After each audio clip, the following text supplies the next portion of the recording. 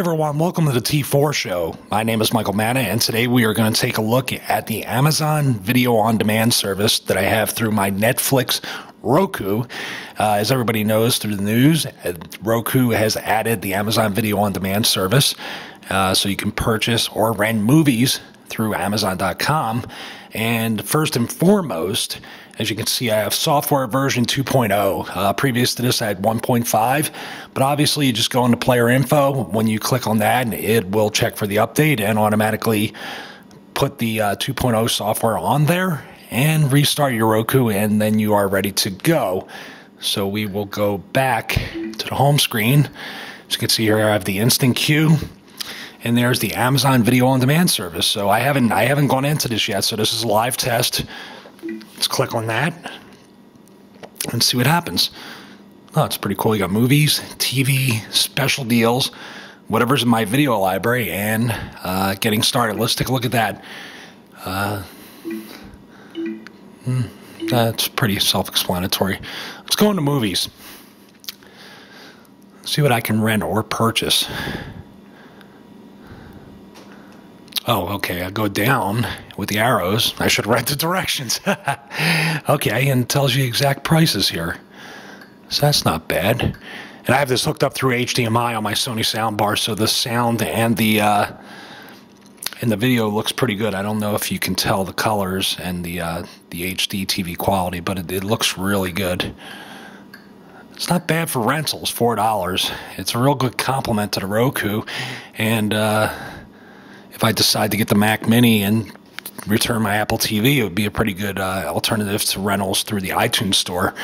And let's see, we have Dark Knight here. Select that.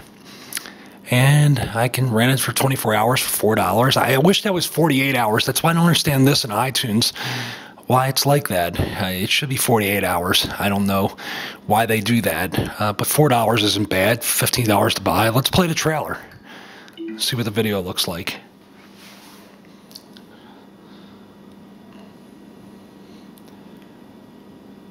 I'm uploading a YouTube video, so that's why the, the, the bar is going kind of slow. I'm uploading a uh, 500 meg video.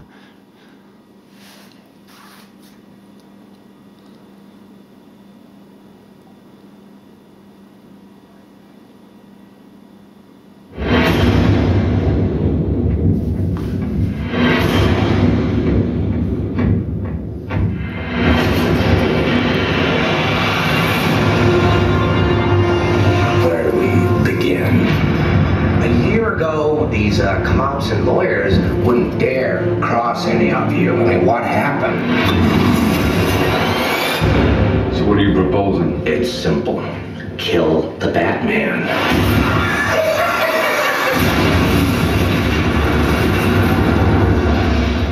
Here's my card.